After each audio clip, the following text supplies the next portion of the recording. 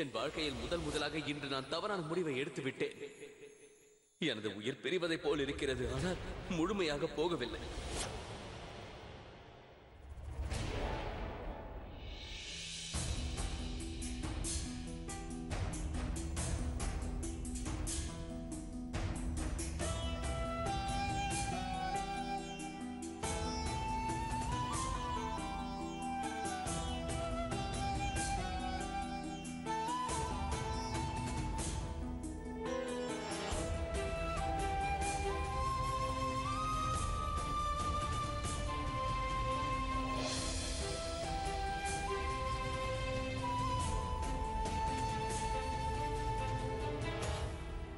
கண்ணா புயல் அடங்கி விட்டது ஆனால் இந்த இந்த விளக்கு ஏன் எரியவில்லை?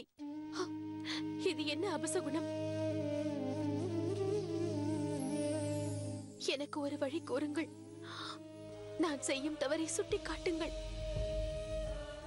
நான் ஷெஹனாசிற்கு நியாயம் வாங்கி தருவதாக கூறிக்கொண்டு எனக்கும் ஷெஹன்ஷாவிற்கும் இடையில் உள்ள உறவை பங்கப்படுத்துகின்றேனோ? நான் உங்களை வேண்டி கேட்டுக்கொள்கிறேன் கண்ணா. எந்த தவறும் நடக்கக்கூடாது காப்பாற்றுங்கள்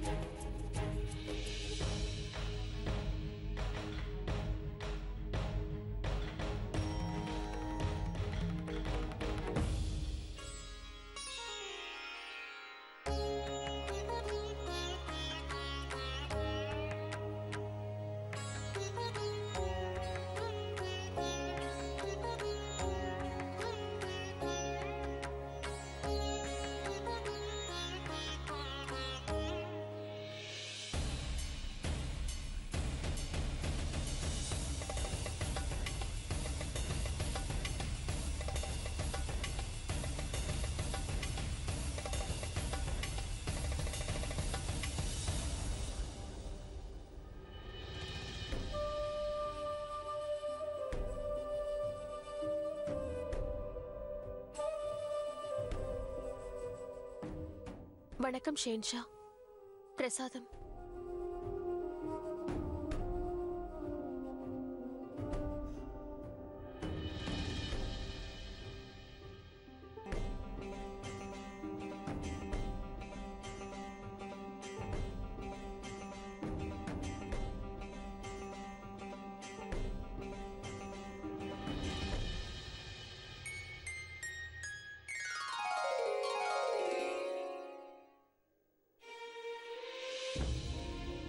ஷேன்ஷா நான் உங்களிடம்.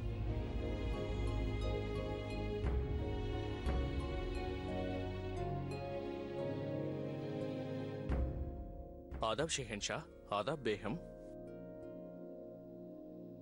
பிரசாதம் எடுத்துக் கொள்ளுங்கள்.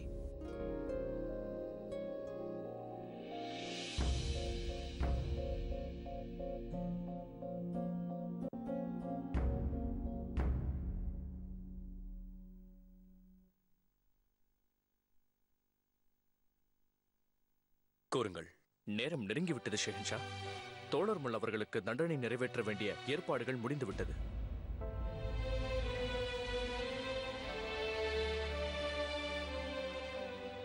சரி தாங்கள் செல்லுங்கள் நான் தயாராகி வருகின்றேன். ஆதாப்.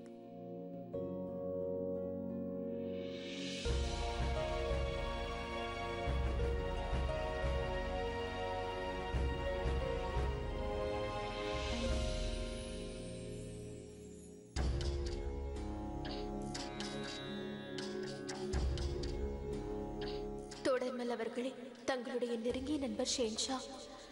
உங்களை தண்டிக்கும் போது அவரின் மனம் வேதனைப்படும். ஆனால் நீங்கள் செய்த குற்றமானது மன்னிக்க முடியாத குற்றம் என்பேன்.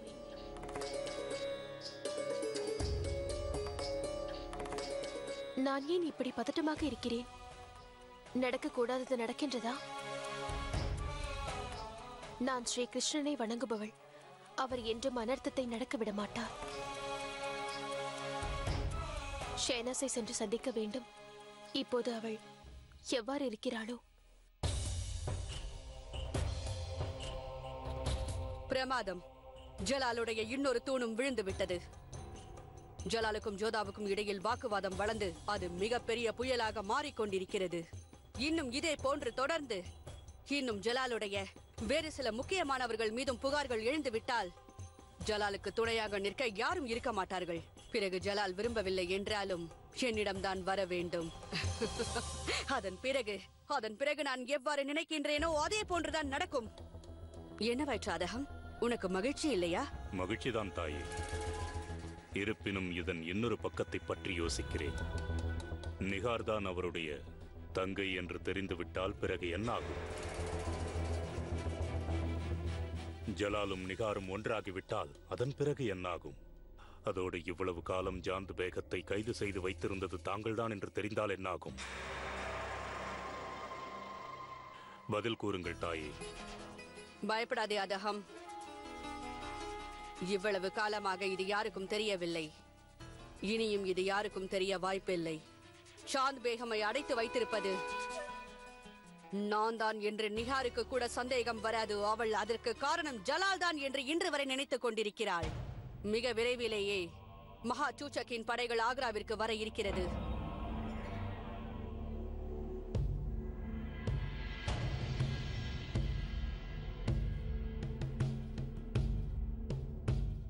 உங்களுடைய சேனை பஞ்சாப் வழியாக செல்வதற்கு தயாராக உள்ளன சாய்பா. ஐந்து வகையான தங்களது படைகள் முகலாயர்களுடைய ரத்தத்தை குடிக்க காத்துக் கொண்டிருக்கின்றன.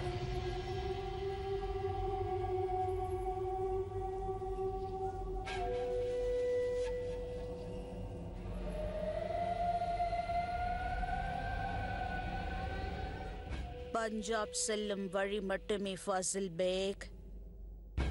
நமது இலக்கு ஆக்ரா.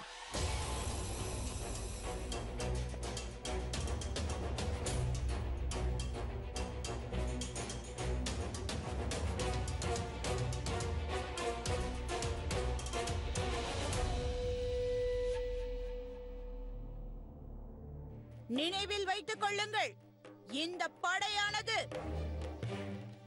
பேகம் மகா சூச்சக்கின் படையாகும். இந்த படை எவ்வாறானது என்றால் கட்டுக்கடங்காத இளம் காளையர்களால் ஆனது இவர்களுக்கு முன்னோக்கி மட்டுமே செல்ல தெரியும். முகலாய சாம்ராஜ்யத்தின் கொடியை அவர்களது கோட்டையிலிருந்து அகற்றி என்னுடைய கொடியை அந்த கோட்டையில் ஏற்றும் வரை இந்த படையானது இந்த பயணத்தை நிறுத்தாது. தனது உயர்ந்த இலக்கை அடைந்த பிறகுதான் இது தனது பயணத்தை முடிக்கும்.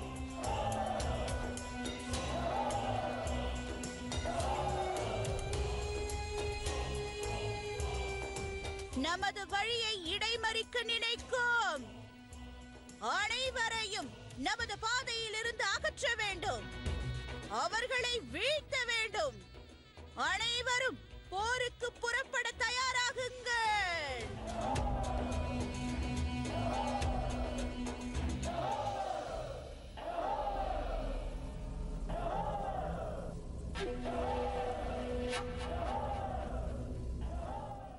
வாழ்த்துக்கள் பேகம் சாய்பா. இன்று உலகத்தில் உள்ள பெரும் படைகளை மண்ணோடு மண்ணாக்கும் அற்புத வீரர்கள் கொண்ட படை இப்பொழுது உங்களிடம். நினைவில் வைத்துக்கொள் ஃபாசில் பே படையில் இருக்கும் ஒவ்வொரு சிப்பாய்க்கும் போரில் வெல்ல வேண்டும் என்ற லட்சியம் மட்டுமே இருக்க வேண்டும். ஒருவேளை அவர்கள் இந்த போரில் தோற்றுவிட்டால் அவர்கள் அனைவருக்கும் வாழ்வில் மறக்க முடியாத மரண வலியை நாம் கொடுக்க வேண்டும்.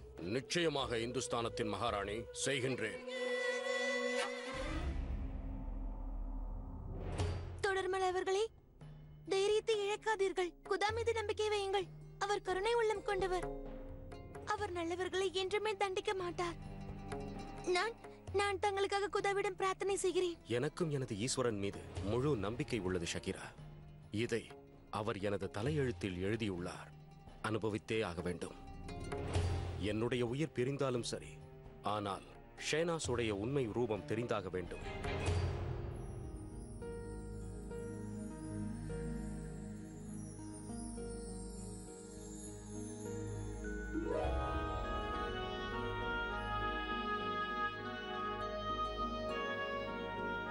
கருணை காட்டுங்கள் மோலா.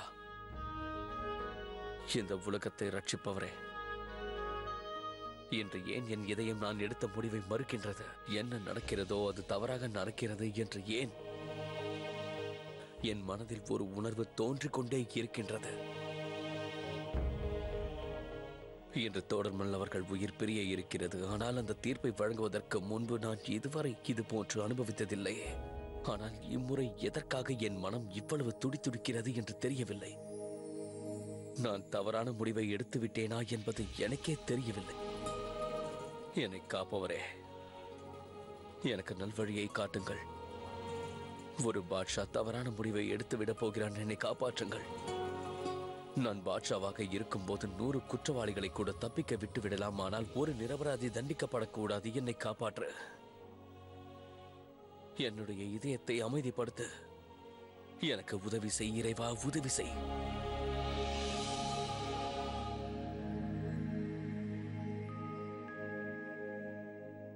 எங்கே சென்றது?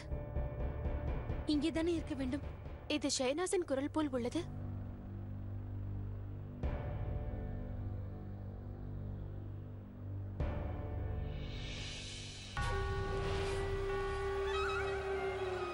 ஷேனாஸ் உணவை உண்பாயாக.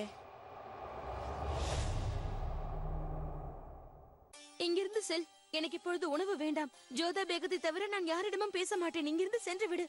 ஜோதா பேகம் உன்னிடம் வந்து விடுவார். நீ உணவை உண். காலையிலிருந்து எதுவுமே உண்ணவில்லை. எனக்கு பசி எடுக்கும் பொழுது உண்கின்றேன். இப்பொழுது இங்கிருந்து செல். முட்டாள்கள். இரண்டு நிமிடம் கூட தனியாக இருக்க முடியவில்லை. எப்பொழுது பார்த்தாலும் என்னை ஒரு பித்து பிடித்தவள் போல் நடிக்க வைக்கிறார்கள்.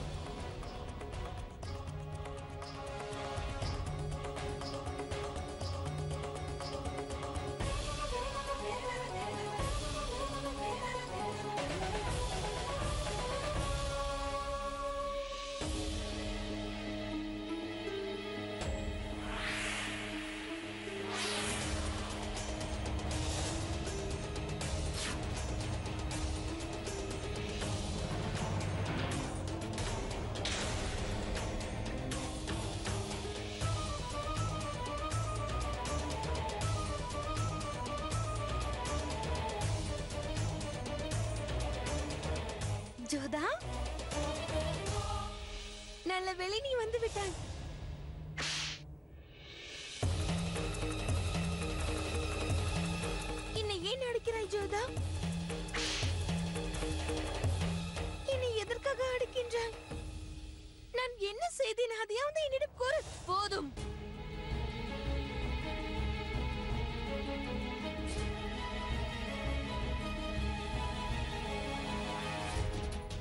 என்ன நினைக்கின்றாய்? நீ என்னை அடித்துக் கொண்டே இருப்பாய் நான் அதை சகித்துக் கொண்டிருப்பேன் என்றா என்னை பைத்தியம் என்று நினைத்தாயா? மனநிலை சரியில்லாதவள் என்று புரிந்து கொண்டேன். யார் நீ? நான் யார் என்று உனக்கு தெரிந்து விட்டதால் இனி உண்மை மறைத்து லாபமில்லை கேட்டுக்கொள். என் பெயர் நிகார். பிறகு நீ மிகப்பெரிய முட்டாள். போதும். என் முன்பு உன் சாகசம் எதுவும் பலிக்காது புரிந்ததா?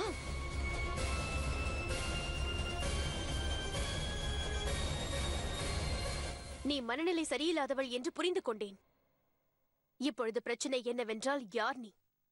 இதை அனைத்தையும் ஏன் செய்கிறாய்? நான் இதை எதற்காக செய்கிறேன் என்றால் என்னுடைய கௌரவத்தை நிலைநாட்டுவதற்காக செய்கிறேன். முகலாய ராஜ்யத்தில் முதல் மகாராணியாகி அனைத்தையும் ஆள நினைத்தேன். நான் சாந்த் பேகத்தின் மகள் நிகார். மறைந்த மாபெரும் சேஞ்சா ஹுமாயூன் அவர்களின் மகள் நிகார். ஜலாலுடைய அக்கா. அந்த ஜலால் என்னுடைய வாழ்க்கையும் என் தாயின் வாழ்க்கையும் சீரழித்து விட்டான். என் தாயை சிறைச்சாலையில் அடைத்து விட்டான் அவன். தன்னுடைய மகளை கூட அடையாளம் காண முடியாத அளவிற்கு என் தாயின் மனநிலையை கெடுத்து விட்டான். இந்த ராஜ்யம் பிரிக்கப்படக்கூடாது என்று ஜலால் நினைத்துக் கொண்டிருக்கிறான். நீ ஜான் பேகத்தின் மகளா? ஷேன்ஷாவின் அக்காவா? நிகார் நீ தவறாக புரிந்து கொண்டிருக்கிறாய். ஷெஹன்ஷா எந்த பெண்ணிற்கும் அநியாயத்தை இழைக்க மாட்டார்? அவரும் சாந்த் பேகத்தை தேடிக்கொண்டுதான் இருக்கிறார். நீ அவருடைய மூத்த சகோதரி என்றும் கூட அவருக்கு தெரியாது.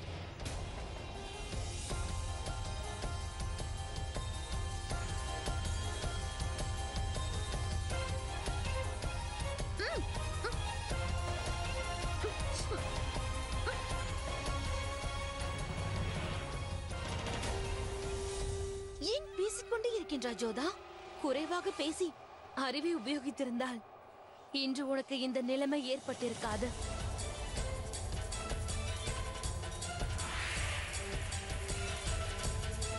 அதிர்ந்து விட்டாயா?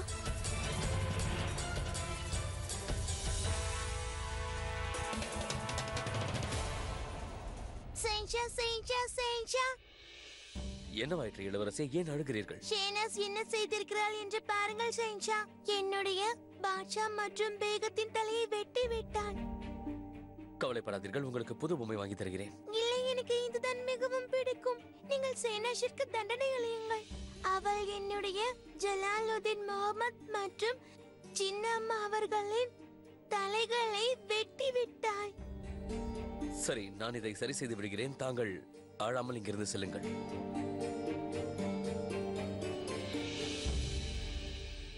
இது என்ன விளையாட்டு? புரியவில்லையே. அன்று ஷெஹனாஸ் இந்த பொம்மைகளோடு விளையாடிக் கொண்டிருந்தால் பிறகு எதற்காக?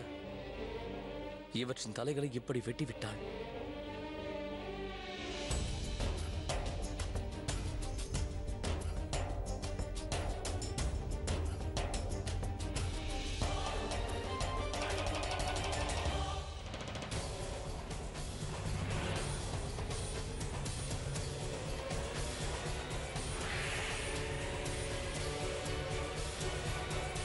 இது என்ன விளையாட்டு? புரியவில்லையே. அன்று ஷெஹனாஸ் இந்த பொம்மைகளோடு விளையாடிக் கொண்டிருந்தால் பிறகு எதற்காக? இவற்றின் தலைகளை இப்படி வெட்டிவிட்டாள்?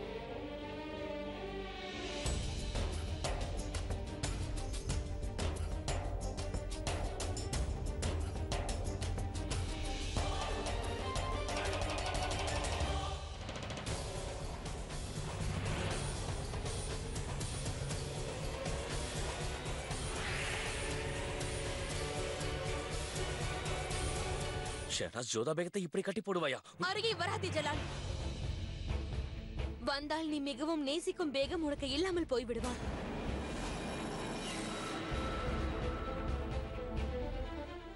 நன்றி கட்ட துரோகி. யார் உனக்காக அடைக்கலம் தந்தாரோ யார் உனக்கு உதவிகள் புரிந்தாரோ அவரையே நீ இப்படி செய்வாயா? நன்றி கெட்டவளா. மாபெரும் அயோக்கியனி நீ என்னை நன்றி கெட்டவள் என்கிறாயா? நீ இப்பொழுது அருகில் வர முயற்சி செய்தால் உனது பேகத்தை நீ இழந்து விடுவாய். ஏன் இவ்வாறு செய்கின்றாய்? எதற்காக இப்படி துரோகம் செய்கின்றாய்? துரோகி நீதான் ஜலால். நீதான் உன் தந்தைக்கு துரோகம் செய்து விட்டாய். அவருடைய கட்டளையை மீறி விட்டாய். ஷெஹன்ஷா இவள் ஷெஹனாஸ் அல்ல நிகார். சான் பேகத்தின் மகள் உங்களுடைய மூத்த சகோதரி.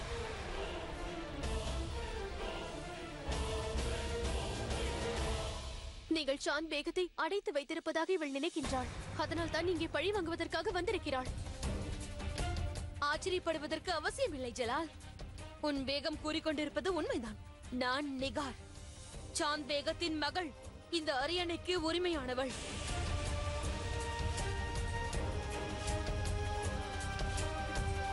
நீ எனது அக்காவா? துரதிருஷ்டவசமாக நான் உன்னுடைய சகோதரியாவேன்.